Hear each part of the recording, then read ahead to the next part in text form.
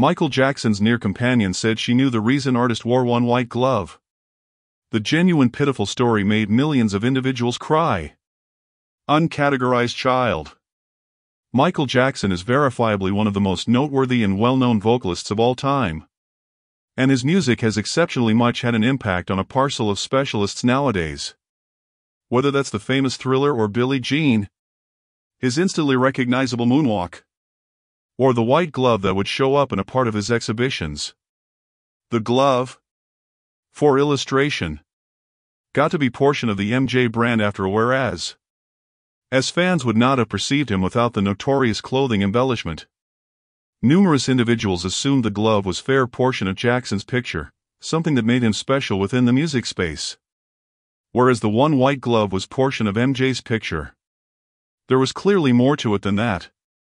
But the reason why Jackson wore the glove is really very a pitiful one, concurring to a companion of his, who claimed the glove was for Jackson to cover up his vitiligo. The skin condition could be a long term illness where pale white patches create on the skin, agreeing to the NHS. It's caused by the need of melanin, which is the color in skin. And whereas it can influence any range of skin, it is most common on the confront, neck, hands, and skin wrinkles.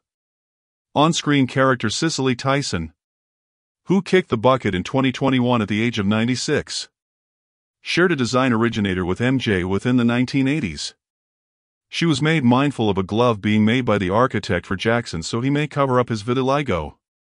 Talking to CNN in 2019, Tyson said, All of a sudden, he, the architect, said, I'm doing this glove for Michael. The glove was to cover the vitiligo. That's how the glove came into being. Jackson affirmed himself he had the skin condition in an uncommon meet with Oprah Winfrey. With the amazing artist indeed conceding he found it destructive when it was being examined within the press. Whereas the one white glove was portion of MJ's picture, there was clearly more to it than that. Jackson found it harmful when his condition was examined within the media. This is the circumstance. I have a skin clutter that annihilates the pigmentation of the skin. It is something I cannot offer assistance. Okay?